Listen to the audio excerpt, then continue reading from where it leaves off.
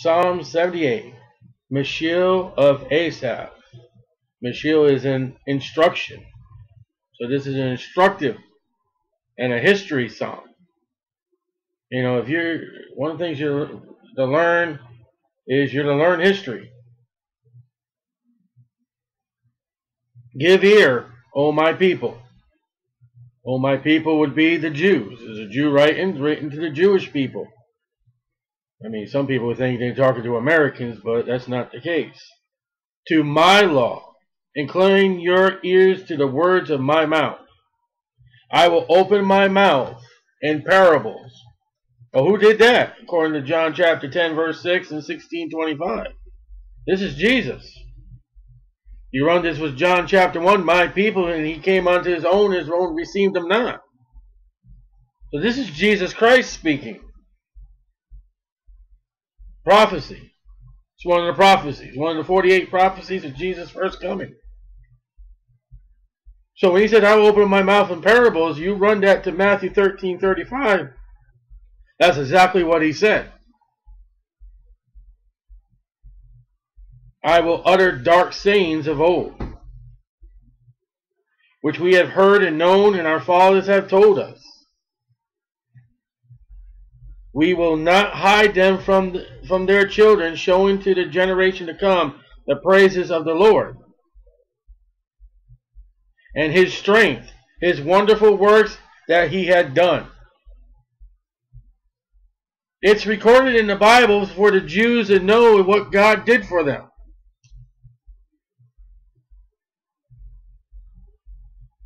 You're to remember, as I said last night, we are to do the Lord's uh, Supper to remember what He's done for us, to remember His death, burial, and resurrection, and to remind ourselves that He's coming back.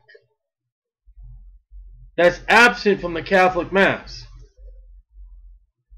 You ask any person takes part in the Mass, you know, are you doing this for the Lord to return? Huh? What? For he established a testimony in Jacob. Jacob is from Abraham, Isaac, and appointed a law in Israel.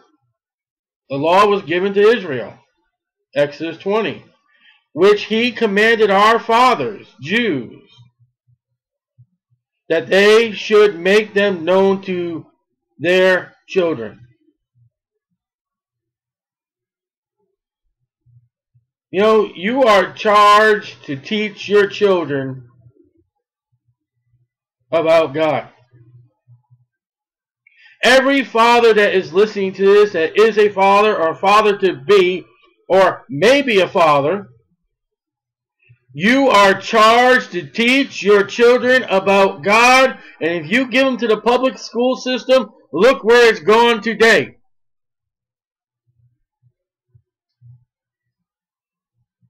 Oh, the Sunday school teacher. One hour out of how many hours in the week?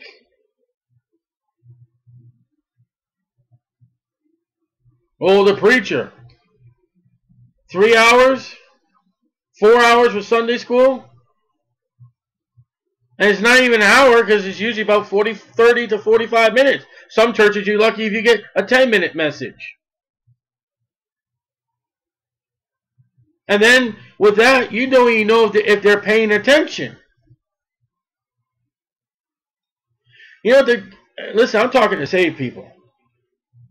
Father, you better understand that when you stand before the judgment seat of Christ, you will give an account of what you taught your children. And some of you fathers out there have taught your children more about hunting and, and sports than anything of the Bible and God and Jesus Christ. To your shame and to your loss.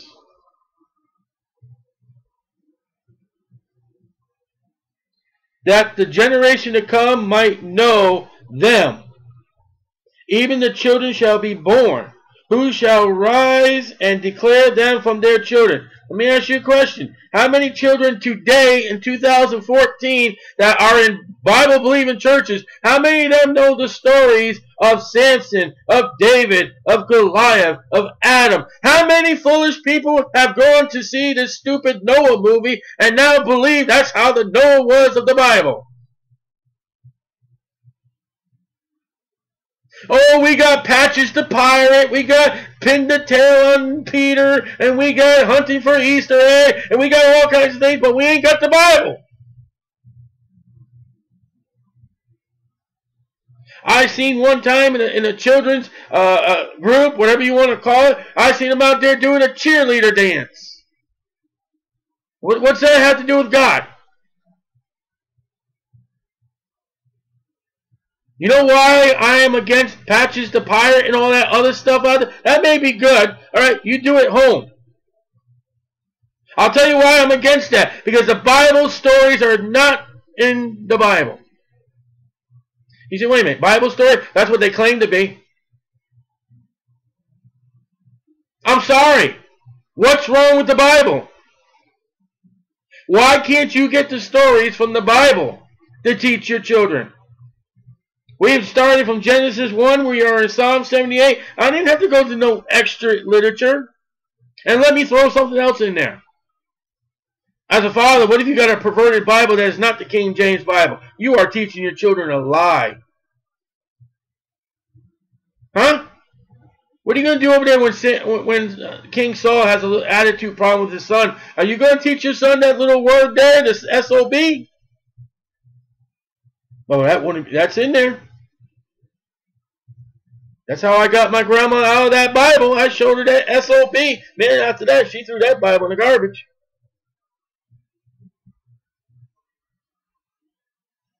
Fathers, you are in charge not only to teach your children, but, but Paul writes to the church and says if a woman has a question, she's to ask her husband. You are given a charge to study to show thyself approved unto God, a workman that is not to be ashamed, rightly divine Pastors, you need to teach your people what the Bible what God expects from them. Get off the dead lily plants and the dead Easter bunnies and get in the Bible and speak the truth. You'll be held accountable too. That they might set their hope in God. What, what, what, what, what? You are to teach your children what God has done. Count your many blessings. Name them one by one.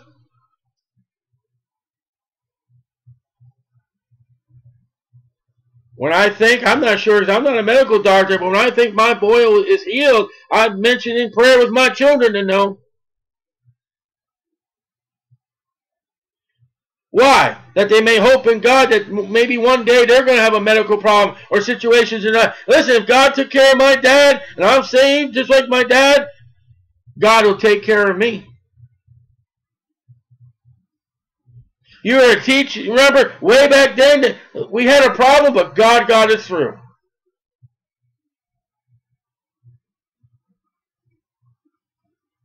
I wonder what they're teaching the synagogues today in America in 2014. By the way, you do know that Paul says that the veil is upon them when they read it today. Because they haven't believed in the Messiah. And not forget the works of God, and but keep his commandments. They are to be reminded what God did to them in, e in Egypt. All the protection. How God loved them. You know, when, when the Gentile boasts of America, the Jews should stand up and say, hey, you should see what God did to us.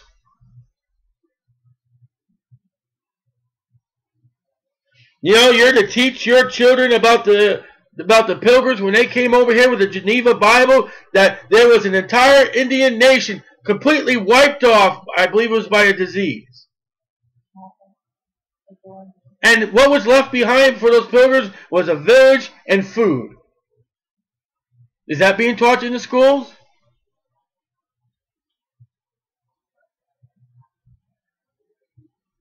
Little girl was at. Well, what did the pilgrims do with their guns? Oh, they went and shot Indians.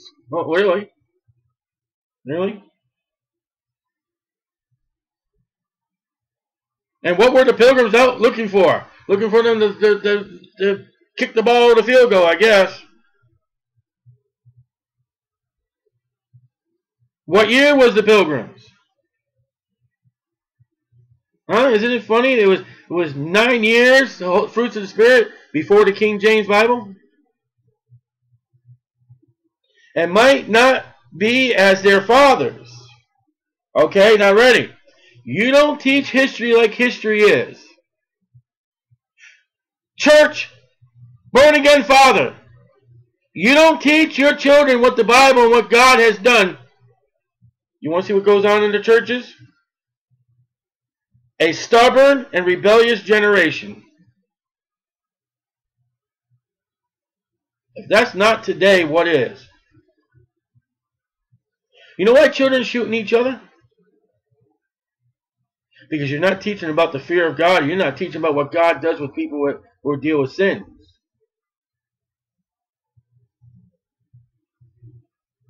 When was the last time that, that parents brought their disobedient, rebellious child to the principal of the school and said, "This child's rebellious and, and like we can't do nothing, and he's a he's a drunkard and and he's he's sinful." And they said, "Everybody, we're going to have an assembly." Little Johnny is a is a wicked boy, and we're going to stone him to death.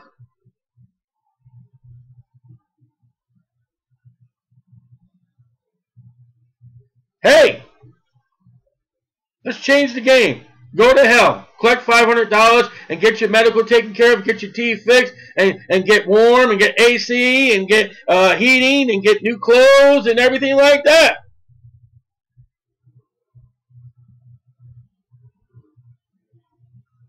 Only thing you lose in jail is your liberty. That's it. Everything else is gained. There are people that get out of jail and run right back to, to, to get back in jail. That set not their heart are right. What's that mean? Well, Lord willing, if we go down Saturdays afternoon and we preach and teach about Jesus Christ and hell and the Bible, everybody comes up to us and with their heart they believe righteousness and with their mouth their confession is made unto salvation. Yeah, right. Maybe a long time ago in America, but not today. There was a time in America where if a guy was going to shack up with another woman that was not his wife, he'd do it in secret. They do it on television today. Whose spirit was not steadfast with God. Listen, even the churches are not steadfast with God. Their music, their programs, their preaching, their Bible, their conduct. Why? Because there's no history. In America, the public schools, they're rewriting the history. So we don't offend people.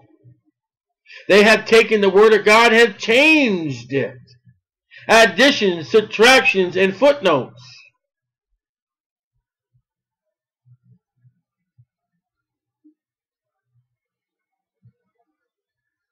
the children of Ephraim. That was the, the, the child of one of the children, the two children of Joseph, being armed and carrying bows.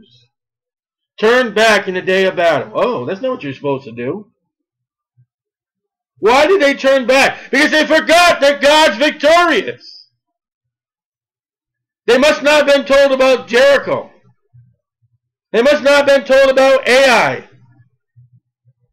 They must not have told that only one war, Joshua being with God, he lost of all the wars. They must not have learned when Moses hung up his hands, there was victory. When he put them down, there was no victory for Israel. They must not have known that. They must not have known that God was a God of war and a God of victory. They must not have been told those that are, are for the Jews will get a blessing. Those that curse the Jews will get a curse. They must not have forgot that. No one must have told them. They kept not the covenant of God and refused to walk in his law. So if you don't do what God tells you to do, you're going to get no victory. Victory today, in this period right now, before the rapture of the churches, God's commandment, God's covenant is to believe on the way, the truth, and the life, the Lord Jesus Christ as your Savior, the blood sacrifice upon Calvary's tree, that they buried him, and he arose from the grave according to Scriptures. And if you don't do that, you don't put your faith and trust in Jesus Christ today, you're not going to have no victory. Well, I got this big corporation. Yeah, wait till you stand before God the judge and see what you got. With your little hiney naked. And God reveals everything you've done to all the world and to all the saints. And forget his works. Christian, are you in turmoil and trouble today? Do you think that God has, has forsaken you? Do you think God doesn't love you anymore? Psalm 77, Christian? Well, let me tell you what the cure is. I can write you a prescription. Now, when I said prescription, everybody's ears just pop. Oh, I'm going to get a pill. No, I'm not going to give you a pill. I'll tell you what it is. You forgot the works of God. Sit down and write down on a piece of paper, starting from your salvation, what God's done for you in your life, rather than what He has not done for you. Mark all the victories and all the pluses that God has done for you. And don't forget to add every single day that you're waking out of bed and able to put your feet on the ground and able to dress yourself. Well, I'm in a wheelchair. You got eyesight? Well, I don't. Can you hear? You mean to tell me God hasn't done nothing for you? You better check and see if you're saved. Because if you're saved, you're a child of God. You think your father's going to leave you desolate? That's Satan that will do that. John 8, 44 and his wonders. You God has done no wonders for you.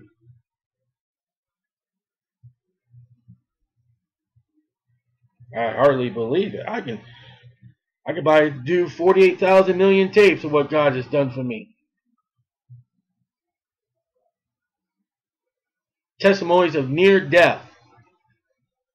No, I didn't go on the other side and no, I didn't do any of that. Near death.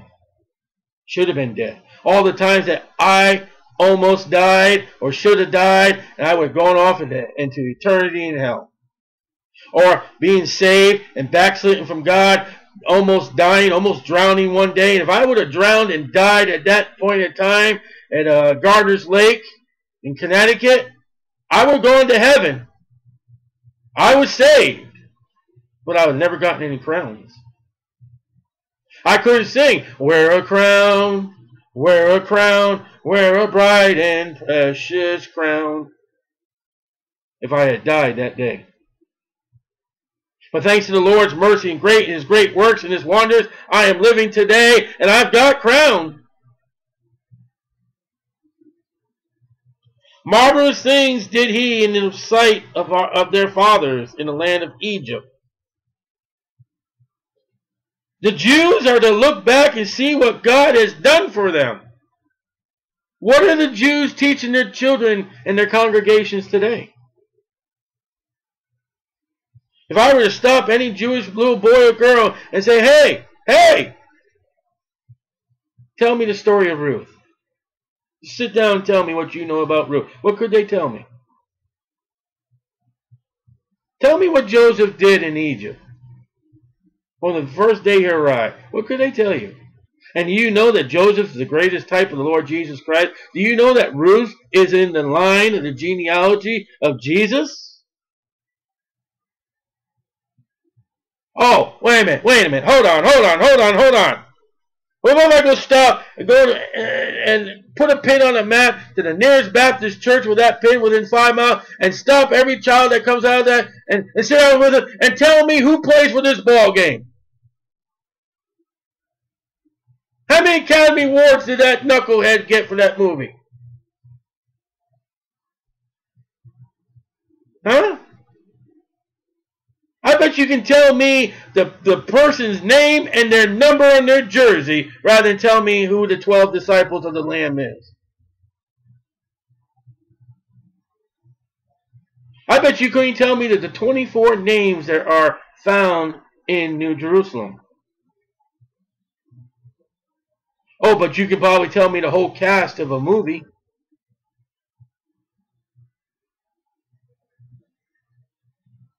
You can tell me what year, if you're into coins, you can tell me what year coins are more valuable or which stamp is, is, is, is desired of you and desired by stamp collectors.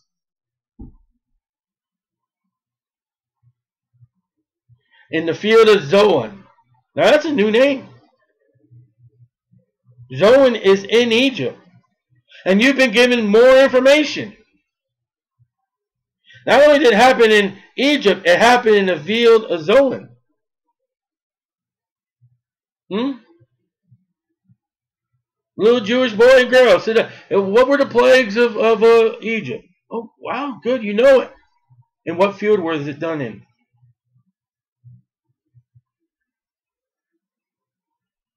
Be a good trivia question. He divided the sea. Okay? Baptist little girl and little boy in the Sunday school class of your modern liberal church today, what was the name of that sea? You know what you get for an answer? See you later.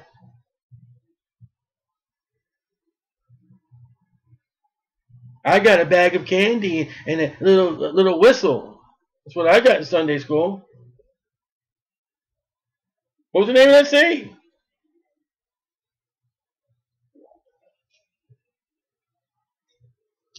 And caused them to pass through. The Bible records that it was dry ground where it should have been mud. And he, God, made the waters to stand as a heap. They were underwater, but not in the water. And Paul writes to in uh, Corinthians that the water was over them, the mist. They were actually baptized, and they didn't go through the water, but they were baptized. How's that for your water dog? Uh, uh,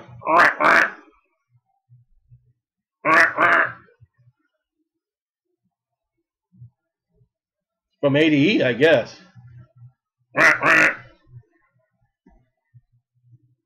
Why should I let you into heaven? Well, I was baptized. And God was saying, uh, uh. give them a duck call.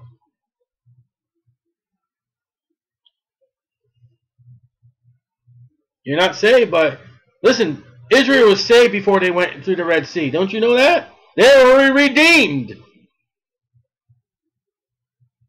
After they redeemed out of Egypt, then they went through the water. You know what happened to those that were baptized and then were not redeemed? They drowned. Fed the fishies. In the daytime, also, he led them with a cloud. That's a pretty particular cloud that every day it was there and every day it was before the children of Israel. That's an interesting cloud. That's not all. Watch what happened to this cloud at night. And all the night with a light of fire. Can you picture that? You picture this fire in the sky.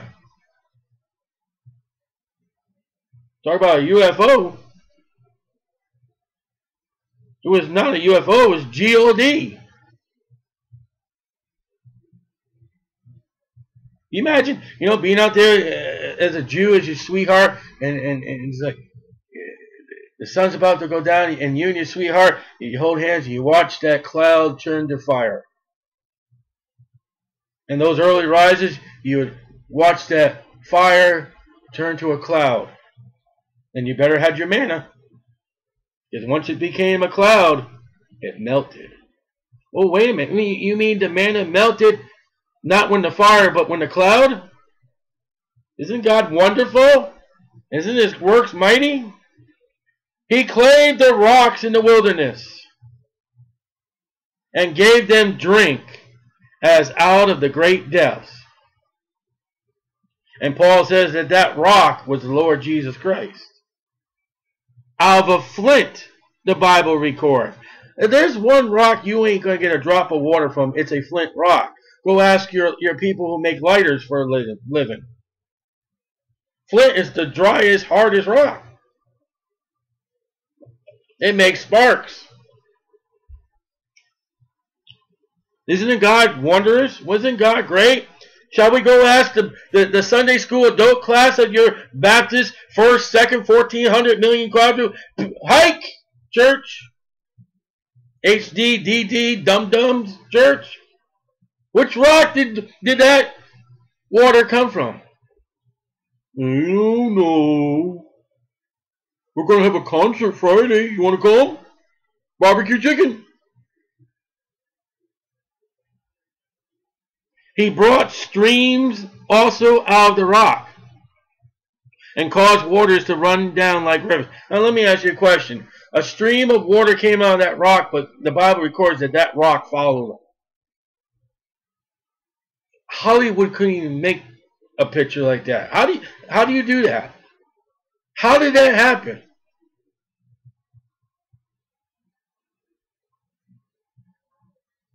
Faith comes by hearing, and hearing by the Word of God, not television. Then they sinned, yet more against him, God, by provoking the Most High in the world.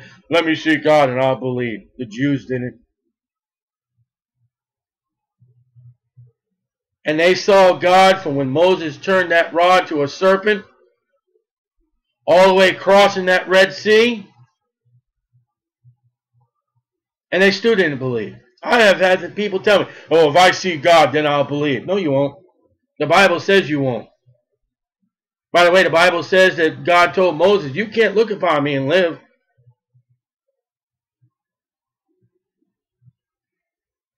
God's presence was with them. He told David that I have dwelt in the curtains. You mean all the time that tabernacle, God was in the, yes, he was in the presence of Israel. And go back and read just the book of Numbers and see how they reacted to God. Read the wilderness journey. We're thirsty. We're hungry. We're thirsty. We're hungry. We're thirsty. It's your fault. Why was that? Because they didn't teach history. Wait a minute. We were thirsty back there, and God said throw a tree into the waters, and we drank. So, God, we're thirsty again. What are you going to do? That's not what they did. They didn't remember. When I had this bout with this boil, I said, Lord, you've taken care of me many times. How are you going to do it this time? Not oh, Lord, you can't do it, so I'll have to go to a doctor. No, no, no, no, no, no. God, I want to see how you do it this time. I remember what God had done for me. And it's not only you, it's people that you know who are Christians who God has also helped in your life. That's why you should be in a Bible believing church because when they, you should have a testimony night at least once a month in the church so people can say, This is what God has done for me. And then you can turn around in your life and say, Hey, look what God did for them. Look what God's done for me. But he can't handle this problem. No, no, no, no, no. And they tempted God, wow, in their heart by asking meat, Exodus 16:2, for their lust. James 4:3. They didn't ask for meat because they were hungry. They asked it for lust.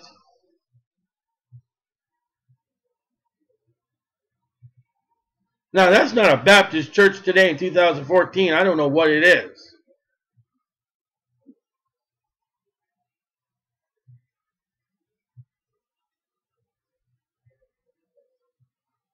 You be, be careful what you ask God for. Better not be according to lust. And don't you don't you dare tell people, oh, if you do it in Jesus' name, you're going to get it. Really? I can do things, all things through Christ which strengthens me. Really? I can go on top of the Empire State Building. I can put a cape on me and put a big S on my on my chest, and I can go fly in the name of Jesus. As I flap my wings all the way down and end up on the street below, get run over by a Greyhound bus, everybody looks around and says, "What an idiot!" And I get and I stand there and I'm standing before Jesus Christ. Jesus, how are you doing? I really love you. What happened? What happened? You misapplied the scriptures. You didn't study to show thyself approved on the God and man, rightly dividing the word. Where'd you get the idea to do that stupid thing?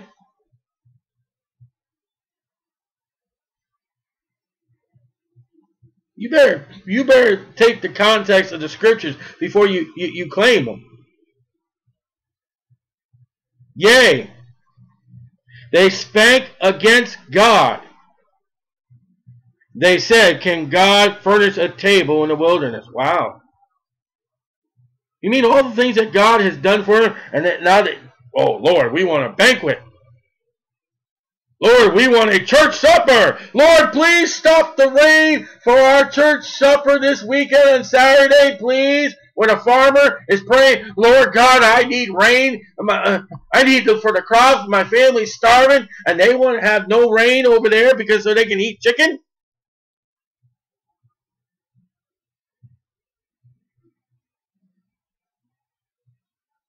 You get one people praying for rain. You get one group of people not praying for rain. Wow. Can God furnish a table in the wilderness? God provided his son, the Lord Jesus Christ, that we may be saved. What else more do you want? Well, we want to have a movie night. Behold, he, God, smote the rock. Oh, wait a minute, that's not, I got a mismark there. Let me change that. That's, that's Moses that smoked the rock. Yes, I'm a Bible marker that the waters gushed out and the streams overflow. God gave them water. Can he give bread also? Can he provide flesh for his people? Listen, God has been taking care of them. God took care of them. God gave them their needs. And they turn around and say, we want more.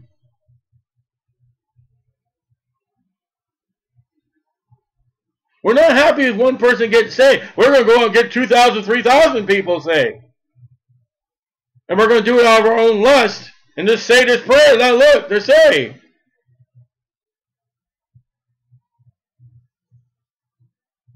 And this is all a history lesson. The Jews in the wilderness and the, and the Egyptians that also went with them did not remember what God did for them.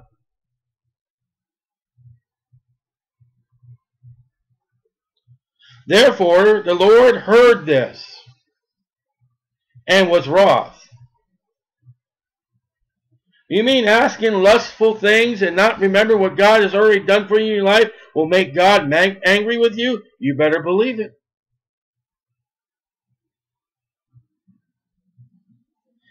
So fire was kindled against Jacob, and the anger also came up against Israel and God passed judgment. You know, if God did that today in the church, if He did that to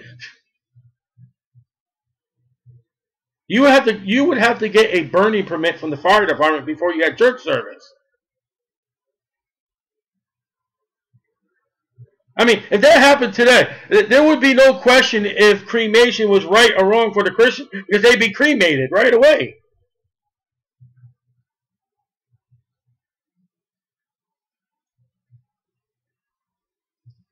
What's the husband wife team that lied against the Holy Spirit and God in the book of Acts? Boom, dead. There sometimes I sit in some of the churches I've been in and say, God, I wish you did that again.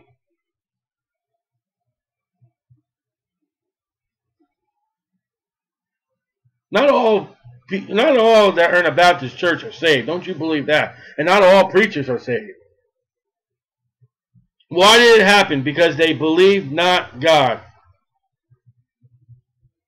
You will burn because you, you have not believed on God. Did you get that? You will burn because you did not believe in God. Trust not and trusted not in his salvation.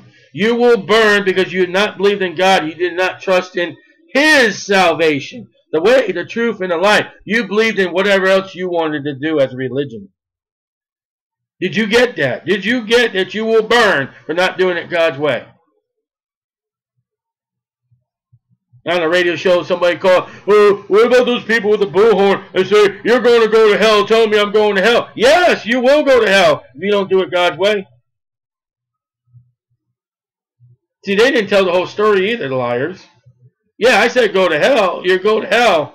But I also said uh, because you didn't trust Jesus. Let's get it right now. Though he had commanded the clouds from above and opened the doors of heaven. God fed them. God gave them water. God took care of them. And they still rebelled. You know, there are, there are Christians today that are backslidden because they asked for something from the Lord and it was for their lust and God gave it to them and then they took off from them. Oh God, please give me this house. Please, Lord God. And for their lust, God said, okay, here it is. Well, the mortgage is high. I got to work another job. I got to work on Sunday to pay for the mortgage. I guess, God, I can't go to church. But you gave me the house.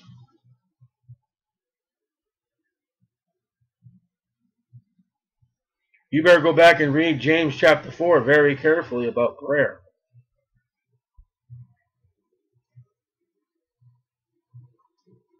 You better ask God if your prayer is a rightful prayer.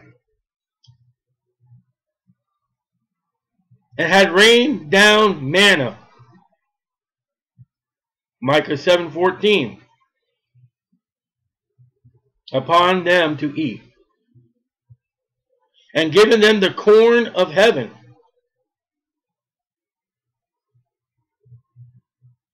they were hungry and God gave them manna you know what it said at one point in, in, the wilderness that they loathed. uh, I'm so sick and tired of manna, manna cakes, manna steaks, manna this, manna that. I'm tired of manna. You know what people say about the Bible? I'm tired of the Bible. I don't want to keep reading, reading, reading. I'm tired of church. You keep going and keep going and going. But they were hungry, and that's what God provided. Man is the Bible.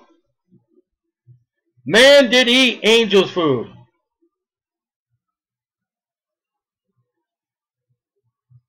So here's a question. Do angels eat? And what did they eat? Angels' food cake.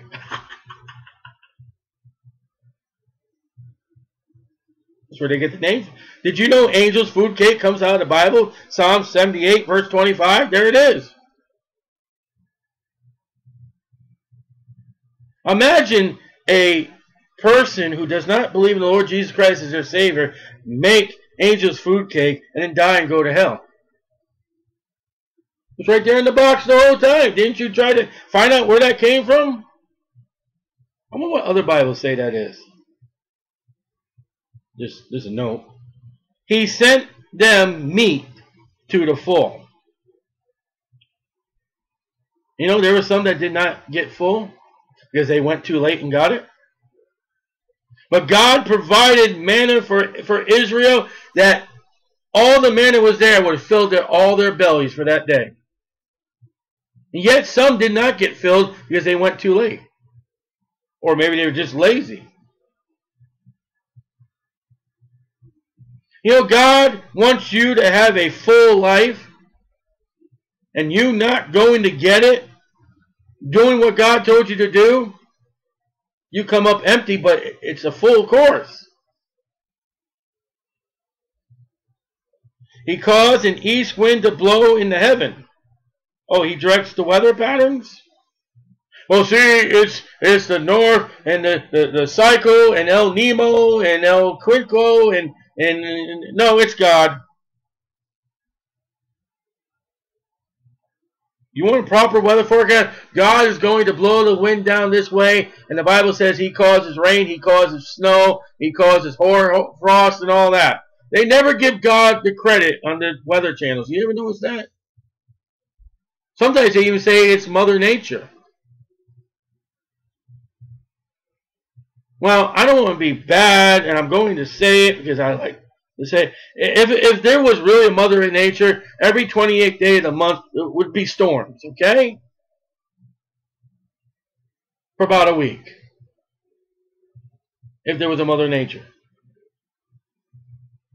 And his power, he brought in the south wind. I don't know, understand what that does for weather. He rained flesh also upon them as dust, and feathered falls, that's the quail, like the sand of the sea. You go back and read that. Numbers chapter 11. And he let it fall in the midst of the camp, round about their habitation. In other words, not only did God bring the quail, he brought the quail right there where they were. Can God provide a table in the, in the wilderness? Oh, yeah. In your tent and everywhere else. So they did eat and were filled.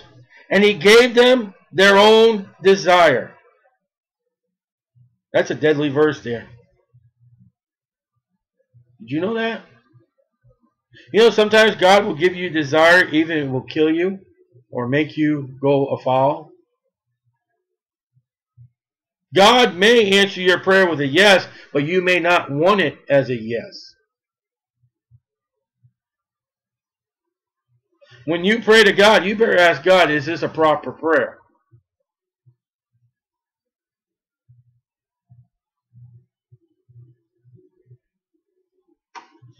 Because your prayer may turn you away from God in loss of rewards. It may get you out of the church for the rest of your life. They were not estranged from their lust. They were in lust of that wilderness journeys.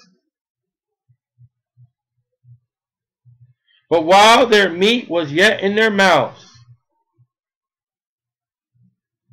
the wrath of God came upon them and slew the fattest of them and smote down the chosen men of Israel. Why? They weren't thankful. They were too busy. Let's hurry up, gobble down the meal on the first day, the only day that America has for, for Thanksgiving, and then let's hurry up and turn around and watch the football game.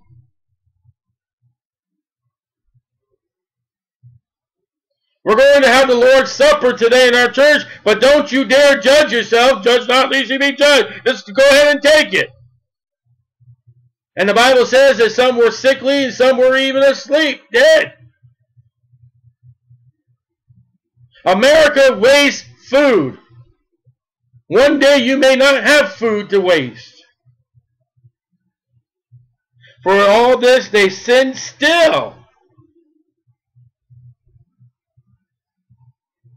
This person died in their lust. They died in, in sinning against God, and they looked at it as like, that was him. I can do it. Nothing going to happen to me. And believe not for his wondrous works. Here's this rock that's following him a complete oddball of nature, a rock spilling out water, following them. Lord, I want some more food. You know what churches' attitudes are? I'm rich. Revelation 3 said, we have, we have no need of nothing. We don't need you, God. We'll take care of ourselves. You just stay outside.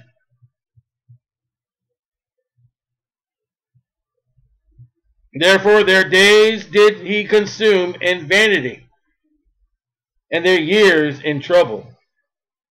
Not doing what God told you to do and not giving God the blessing and not thanking God will give you years of trouble.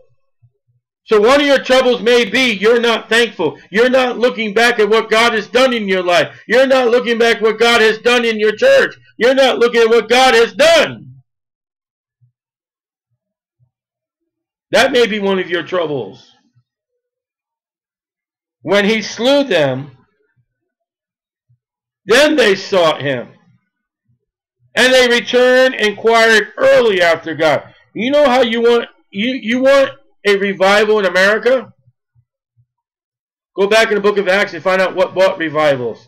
Persecutions, uh, martyrdom, prison. That's what brought re revivals. You know why people won't ask for patience of the Lord? Do you read what Paul says? You know what? You know how patience come? Tribulation. I had a pastor, I don't know who it was, whatever how I heard it, tape, live, or whatever it was. Don't you dare ask for, for patience from God, because you ask for that, tribulation will come. Wow. And God can't get you through the tribulation? And they remembered that God was their rock and the high God, their Redeemer. Sometimes when you got judgment going on by God, it does turn people to the Lord. When that tsunami hit Japan a few years ago, I wonder how many missionaries went out there and witnessed. I wonder how many came to know the Lord Jesus Christ as their Savior. You're not going to have revival in America. Why? Because you got ATM machines. You got plastic credit cards. We are a rich, wonderful nation. We don't need God. And we're going to stop there, pick up the rest of the chapter, Lord willing, next time.